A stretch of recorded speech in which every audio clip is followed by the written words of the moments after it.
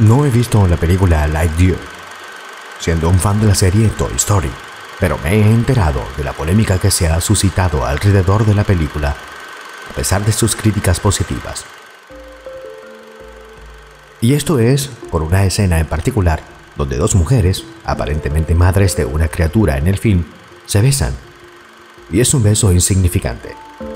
La sociedad ha puesto el grito en el cielo por algo tan tonto. Aun cuando nosotros, los llamados Generación X, crecimos viendo al conejo Bugs Bunny, dándole besos en la boca a Elmer Gruñón o a Sam Bigotes y vistiéndose de mujer, y no fuimos corrompidos. Y eso era común en los dibujos animados de nuestra era, y durante años esto fue normal. La sociedad era menos susceptible. Hasta ahora. A la generación del cristal le han vendido la idea absurda por demás, de que la orientación sexual y el género está basado en la imposición social, esto es, una serie de factores ambientales, psicosociales y familiares cuya finalidad es educar nuestra sexualidad, moldearla, definirla, imponerla. Las teorías del género de hoy en día concluyen que la sexualidad es un constructo meramente social que el género también lo es. Y supongo que por precisamente pensar en esa idiotez, es que se ponen en contra de una película infantil. Casi lo pensamos, llegaríamos al ejemplo del conejo Box nuevamente. La sociedad de hoy se está volviendo cada vez más susceptible y con esto hipócrita. Seguramente en el contexto social son políticamente correctos, pero basado en mi experiencia, esta misma gente que siempre piensa que toda manifestación de afecto o alusivo a lo sexual, es asociado a lo malo o a lo obsceno y a lo negativo para sus hijos. Ellos pueden ser realmente pervertidos en su intimidad, o bien estarle enseñando a sus hijos a ser personas poco tolerantes con la alta diversidad de seres humanos que coexistimos en el planeta. La mojigatería ya no cabe en este siglo, pero al parecer se está exacerbando. Como dice el dicho, dime de qué presumes y te diré de qué careces al paso al que vamos, con el tiempo. Prohibirán las películas para adultos, se irán las telenovelas, quemarán libros, se impondrán leyes, acabarán con el contacto cultural, personal y de cualquier naturaleza. Y espero no ser muy exagerado. Pero de eso hablaremos en otro vídeo. Por lo pronto diré que, por más heteronormativo o gay normativo que sea el ambiente, los padres o el mundo que te rodea las preferencias sexuales son tan personales como el gusto a las manzanas o a las camisas. Las personas son lo que son y sus gustos, apetitos, preferencias no se cambian a causa de estímulos inocentes o superficiales o porque veas a personas besándose. La orientación sexual nace con uno. Las manifestaciones de cariño no siempre tienen connotación sexual. Hay culturas donde las personas se besan en la boca de manera fugaz, sin distinción de sexo, como en Holanda, por ejemplo. Y de eso se trata el video que les traigo, un caso trágico, donde se demuestra que si naces como conejo, serás conejo aunque te críen gallinas. Yo soy Hassan y te invito a que me acompañes en este insólito caso. Comenzamos.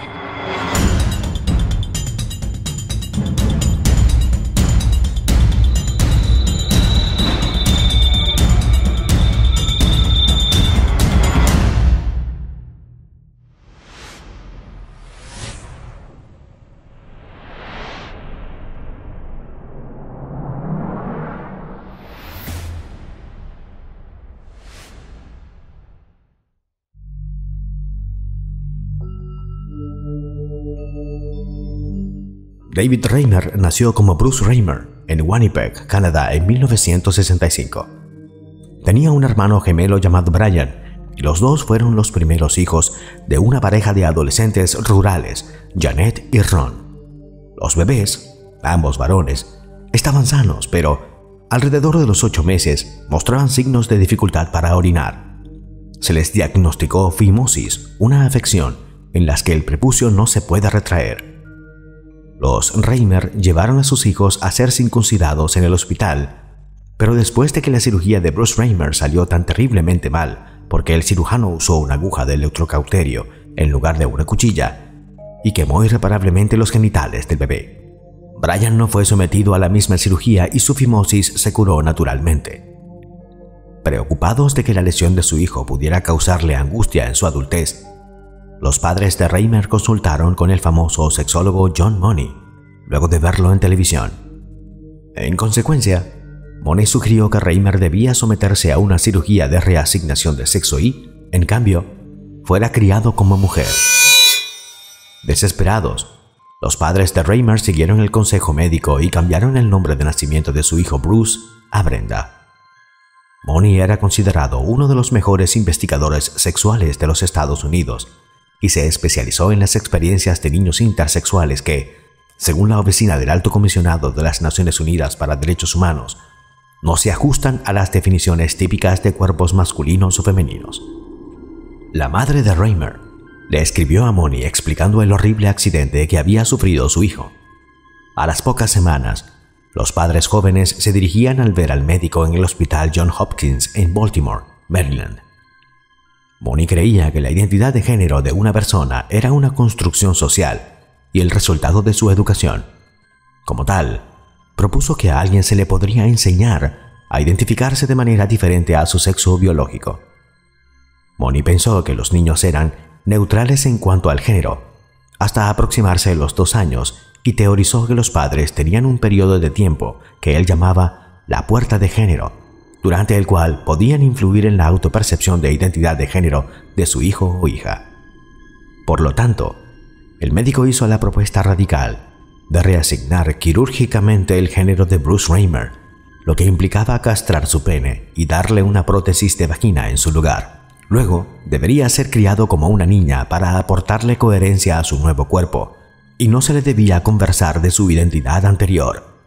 Los padres de Raymer aceptaron el procedimiento, y la transición impuesta al bebé comenzó poco antes de su segundo cumpleaños en 1967. Para Money, esta situación también le brindó la oportunidad de investigar su teoría sobre la identidad de género. Pero su consejo médico resultaría fatalmente equivocado en el caso de David Raymer.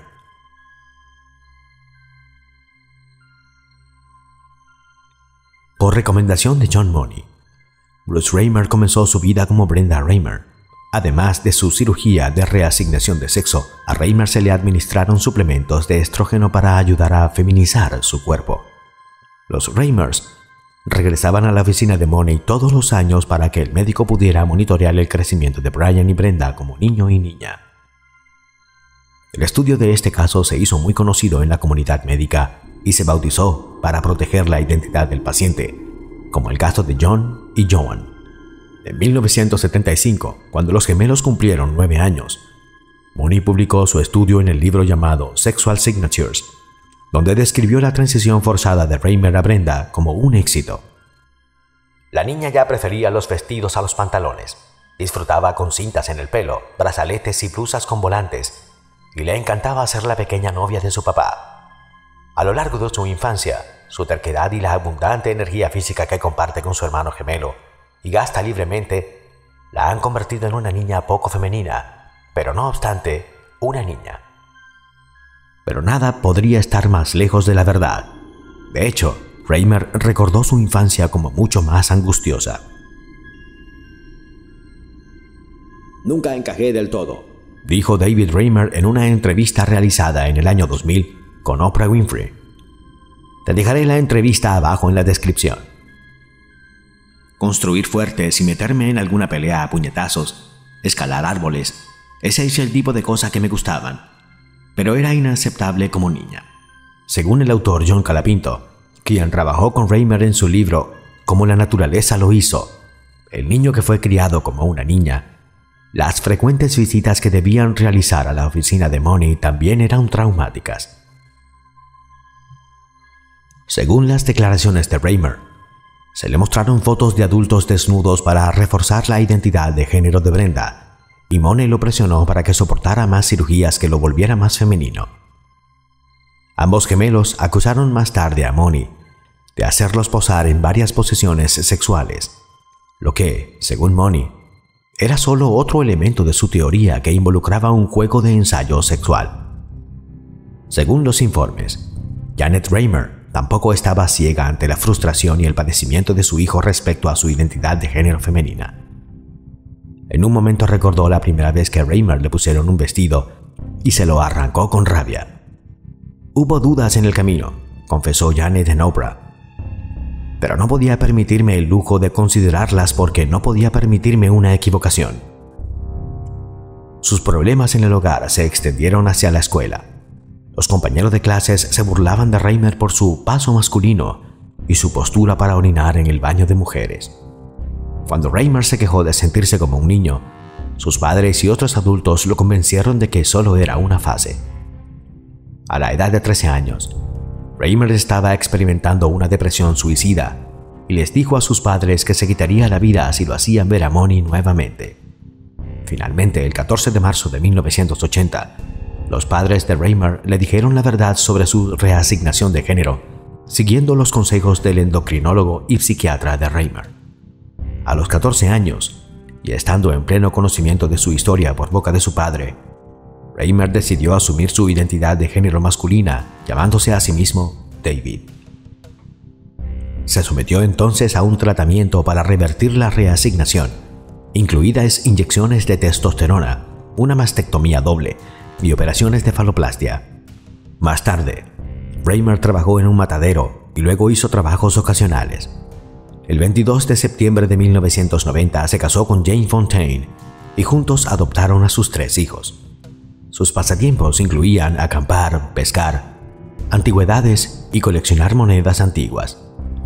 Su caso llamó la atención internacional en 1997, cuando le contó su historia a Milton Diamond, un sexólogo académico que persuadió a Raymer de que le permitiera informar el resultado para disuadir a los médicos de tratar a otros bebés de manera similar. Poco después, Raymer hizo pública su historia y John Colapinto publicó un relato influyente y ampliamente difundido en la revista Rolling Stone en diciembre de 1997. El artículo ganó el premio National Magazine Award for Reporting. Esto se expandió más tarde a la biografía más vendida del New York Times como la naturaleza lo hizo, El niño que fue criado como una niña, del año 2000, en la que Colapinto describe cómo, contrariamente a los informes de Moni, cuando vivía como Brenda, Raymer no se identificó como una niña. Fue condenado al ostracismo y fue cruelmente intimidado por sus compañeros, que lo apodaron Mujer de las Cavernas, y ni los vestidos ni las hormonas femeninas lograron que se sintiera como una verdadera mujer. Además de su difícil relación de por vida con sus padres. Reimer se enfrentó al desempleo y a la muerte de su hermano gemelo Brian, quien falleció producto de una sobredosis de antidepresivos el 1 de julio del año 2002. El 2 de mayo del 2004, su esposa Jane le dijo que quería separarse. En la mañana del 4 de mayo del 2004, Reimer condujo hasta el estacionamiento de una tienda de comestibles en su ciudad natal de Winnipeg y se suicidó disparándose en la cabeza con una escopeta recortada. Tenía apenas 38 años. Fue enterrado en el cementerio St. Vital de Winnipeg. Si el video te gustó, por favor dale pulgar arriba y compártelo. He habilitado el botón de gracias para apoyar el canal. Sería muy útil tu contribución para seguir creciendo y seguir haciendo contenido en este también tu canal. Muchas gracias. Déjame un comentario y únete a mis redes sociales. Abajo en la descripción tendrás links. Esto fue Logos.